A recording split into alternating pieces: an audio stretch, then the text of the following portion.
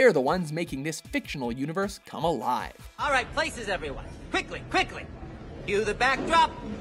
Roll cameras. Welcome to WatchMojo.com, and today we'll be counting down our picks for the top 10 Mass Effect races. And action. For this list, we're taking a look exclusively at the fictional species in the Mass Effect universe. Sorry, Commander Shepard, no humans allowed. I hardly felt a thing. Number 10, the Volus. Double pepperoni. For our first pick, we've got the Volus, a short and stubby race often associated with the Citadel, as they were the first race to establish an embassy on the Presidium.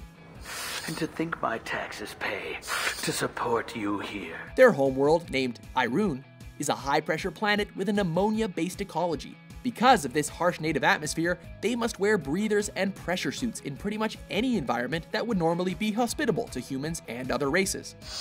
I'll speak with Citadel security about this incident. Though not physically adept, the Volus have high influence on commerce and trade throughout the Citadel. Who's going to pay the bill? Number 9. The Elcor. Hello there, human. Originally from the planet Dekuuna, the Elcor are massive and stand on four legs for stability purposes. Mixed pride and shame. Our enemies have called us living tanks. They move extremely slowly, since they evolved on a high gravity homeworld, where a fall to the ground could be harmful or even fatal. Alarmed response. You overheard that, did you? Even though some Elcor are seen on the Citadel and other colonies, most prefer not traveling in space because of their size, since they find the limitations of space travel to be uncomfortable. Our people are not very comfortable with sudden changes. To avoid misunderstanding due to their monotone voices, the Elcor prefix all their dialogue with emotive statements to clarify their tone. Relief.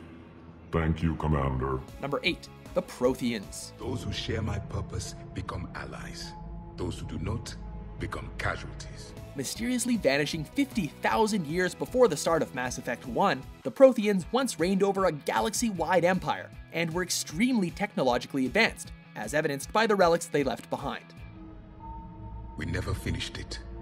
It was too late. Protheans have a number of unique biological features, including eyes that can see through cloaking devices and the ability to essentially read another being's mind, or recall their experiences simply by touching them. I sense you're the lineage of a leader, a warrior's skill and cunning.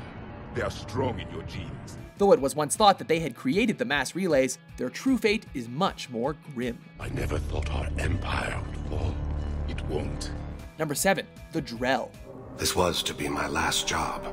A reptilian race with deep, religious practices. They once inhabited a dying homeworld before they made first contact with the Hanar and were rescued. Well, here I am. Since the Drells emerged from an arid, desert like planet, humid climates are intolerable to them and often lead to fatal, degenerative diseases in the long run. I spent 10 years dead.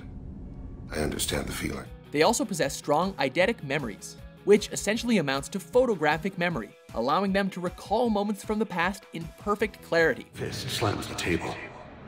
She comes to me, fingers cool and soothing. They be alive with me tonight. Whether they want to or not. Some of us disappear into, you know, let's call it solipsism. Number 6. The Geth.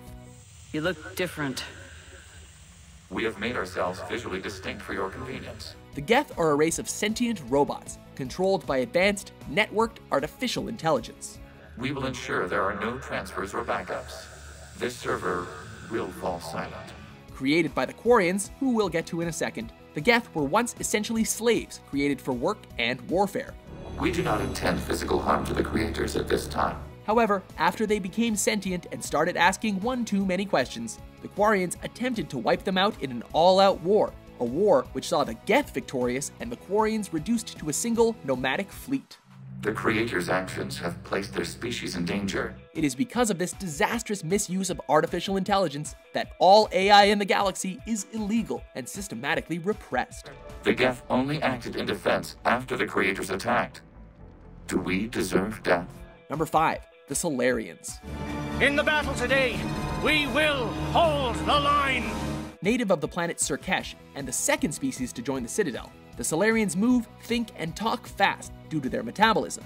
I'm quite good at genetics as a subset of biology because I am an expert, which I know is a tautology. The downside to this is that they have very short lifespans that rarely go above 40 years old.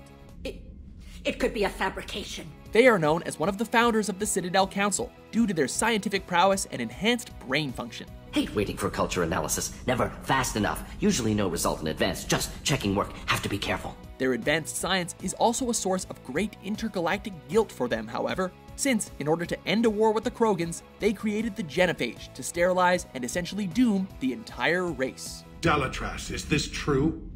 How will curing the genophage benefit my people? Number 4. The Asari. A balance of power exists in the galaxy that we don't wish to upset. Known for their diplomacy, the Asari were the first species to discover the Citadel, and are the ones who proposed and founded the Citadel Council. But there was more to it than that. As a monogender race, they are feminine in appearance. However, they have the ability to reproduce with any species or gender. You make it sound so chaotic, so dangerous. Originally from the planet Thessia, all Asari have natural biotic aptitude because of the strong traces of Element Zero found there. Thessia has always been an oasis in a galaxy full of turmoil. Asari can also live almost a thousand years, a life cycle which is divided into three stages called the Maiden, the Matron, and the Matriarch, respectively. Sometimes I wonder how you do it. Number 3. The Turians. I can't wait to find out what brings you out here. Natives of the planet Palaven, the Turians are widely known for their disciplined and militaristic culture, especially in the Citadel. I can't give you what you need, but I can tell you how to get it. They are most respected due to their public services, like Citadel Security Services, or C-Sec, and their contributions in the form of starships and soldiers to the Citadel fleet. Take care of the wounded, and scavenge what you can. I want us out of here ASAP. You heard the boss. Move it. The Turians were the third species to join the Citadel Council. Though they gained their council seat after helping to quell the Krogan rebellion, there is still some animosity between the Turians and humans, since both races fought against each other in the First Contact War. I've done all I can to help. The rest is up to you. Number 2. The Quarians. Permission granted. Welcome home, Tali'Zorah. A tragic race, the Quarians became nomads after losing their homeworld Rannoch to the Geth, resulting in them also losing the Citadel Council confidence and their own embassy. You know what Quarians are like. Most Quarians now live on the Migrant Fleet, a massive collection of starships that roams the galaxy. We've got the largest fleet in the galaxy. If you can help us, we'll hit the Reapers with everything we've got. As a rite of passage into adulthood, coming of age Quarians must undertake a pilgrimage outside the fleet, as proof that they will not be a burden on the convoy's limited resources. If we don't think about the needs of the whole crew, people could get hurt. Although living on board spaceships all their lives does make Quarians quite adept at engineering and tech, generations living in sterile environments and the constant threat of a hull breach means that all Quarians essentially wear enviro suits at all times. The most intimate thing we can do with another Quarian is link our suit environments. Before we unveil our top pick, here are a few honorable mentions.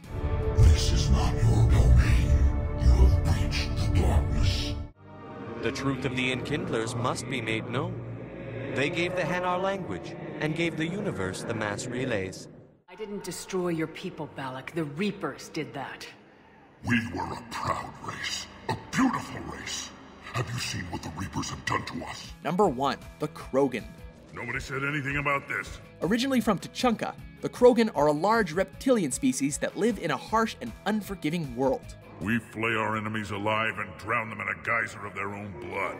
Artificially sterilized by the genophage, the Krogan are usually distrustful of all other races, and the very few females that remain almost never leave their homeworld in an attempt to avoid extinction. You can stay here and let old wounds fester as Krogan have always done. Or you can fight the enemy you were born to destroy. Spartan-esque in culture, the Krogans respect strength above all, as the worst insult you can utter to a Krogan is, you're not worth killing. Both vicious warriors and lovable goofs, strong but tragic, the Krogans are the perfect example of the depth sewn into the Mass Effect universe. Ever since we cured the genophage, it's been nothing but work. Do you agree with our list? They'll sing battle songs about this someday. What's your favorite Mass Effect species? You've come too far. For more entertaining top 10s published every day, be sure to subscribe to WatchMojo.com. Oh, don't make me laugh. Damn it, my face is barely holding together as it is.